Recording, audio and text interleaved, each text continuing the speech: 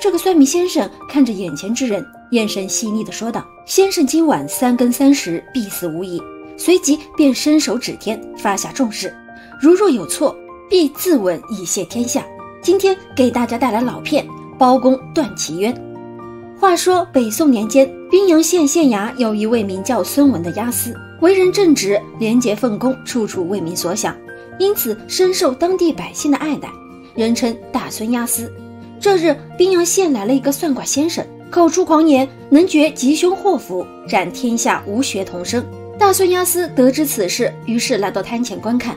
只见算卦先生双目紧闭，口中念念有词：“不问五行四柱，能知吉凶祸福。”大孙押司见其甚是狂傲，于是上前问道：“先生不问五行四柱、生辰八字，难道也不看三井五岳、天地方圆？”不想这算卦先生却说道。我睁开眼叫白银五两，围观众人一听，顿时直咂舌头，还真敢要。此时大孙押司也来了兴趣，立刻说道：“如果你算得准，我再加五两。”说罢便坐了下来。那算卦先生听完，便双眼一睁，站了起来，围着大孙押司细细的端量了一圈后，却眉头紧皱的说道：“客官，你走吧，你这卦不算。”大孙押司一听，顿时大喜。对着先生说道：“你是因为算不准，所以才不敢算。可我们有言在先，今天这卦能算得算，不能算也得算。”先生无法，只得将签筒递给了孙押司。可先生一看孙押司摇出的卦签，不禁连连摇头，说道：“卦象不好呀。”随即抬笔在纸上写了几个字。孙押司看后不明其意，连问此卦主何灾祸？没想到算命先生异常坚定地说道：“此卦主客观的死。”孙押司一听大惊，但随即又微微一笑，问道：“那么，话里说我哪一年？今年？”孙押司听完，顿时站起身，生气地说道：“今天我要是不死呢？”算命先生却胸有成竹：“客官今晚三更三点，若是不死，我明天在此自刎以谢天下。”没想到话一说完，刚才还晴空万里的天空顿时巨变，瞬间天昏地暗，狂风四起，围观人群立刻四散而逃。夜晚，孙押司将白天的事情讲给了夫人，夫人一听气愤无比，大骂算命先生平白无故诅咒老爷，随即起身就要找他算账。孙押司连忙将他劝住，笑着说道：“夫人不要着急，等过了今晚，明日再找他理论不迟呀。”夫人一听也觉得有理。于是立刻让丫鬟准备酒菜，守个通宵，明天算账。转眼酒过三巡，孙押司已是醉意朦胧。于是，在夫人的搀扶下回到了房间，扶持老爷睡下后，夫人却在此时心神不宁起来。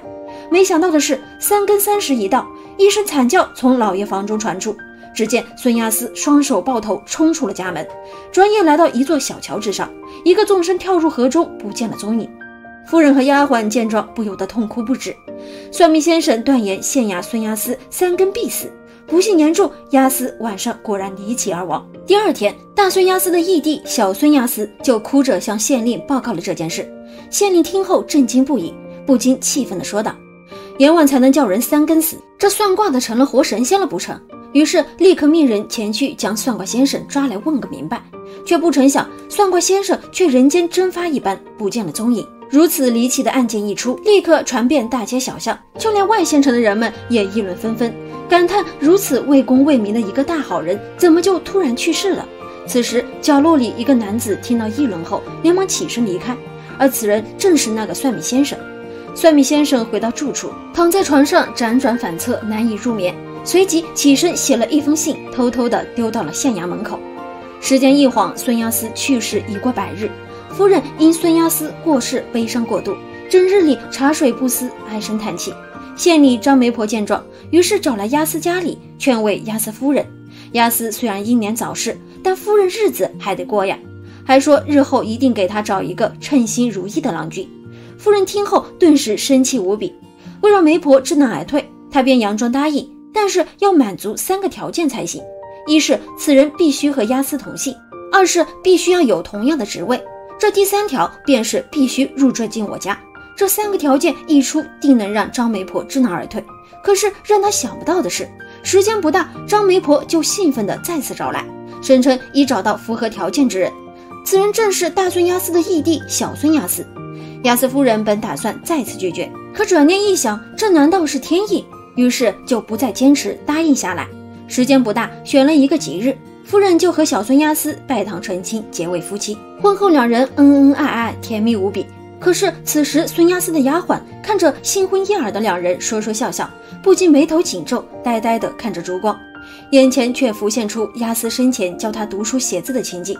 没想到的是，诡异的事情发生了，丫鬟因噪音过大，突然闭了眼睛。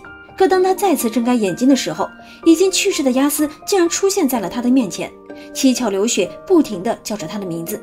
丫鬟顿时吓得大叫一声，昏了过去。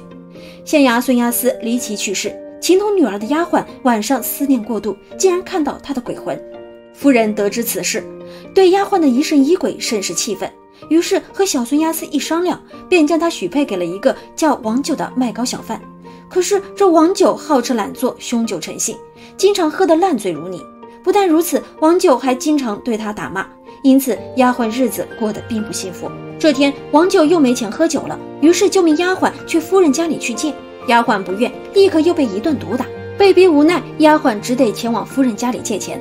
没想到的是，夫人见丫鬟前来借钱，立刻像变了一个人一样，对她冷嘲热讽一番。丫鬟不禁伤心异常。心想，如果押司在世，定不会让她如此狠心。想着想着，她竟然来到了押司跳河的那座小桥之上。没想到的是，朦胧间，亚斯的身影再次出现在丫鬟面前。丫鬟不由得汗毛倒竖。可就在此时，亚斯却对丫鬟说道：“你不要害怕，我找你是让你为我伸冤的。”丫鬟一听，心中害怕至极，连忙说道：“深夜你去找知县大人呀。”亚斯却说：“县衙阳气太盛，我无法进去。”随即就将一个包袱交给了丫鬟，转眼消失不见了。丫鬟回到家中，发现包袱中有一些银两和一封信，只是这信上的内容却怎么也看不懂。可是当王九听到丫鬟说银子是大孙亚斯给的，不禁大惊的说道：“你是碰到鬼了！”可是丫鬟此时却没有半丝害怕之意，她也觉得亚斯死的不明不白，疑点重重。想到亚斯生前对自己如亲生女儿一般，最终下定决心为他伸冤。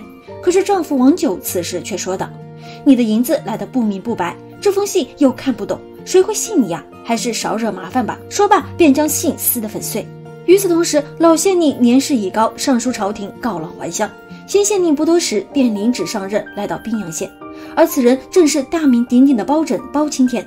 丫鬟一听，立刻就打算前去替押司申冤。可是王九却在此时将他拦下，劝说道：“新县令刚来，我们不了解他的为人，还是看看再说吧。”要知丫鬟申冤如何，请大家继续观看下期解说。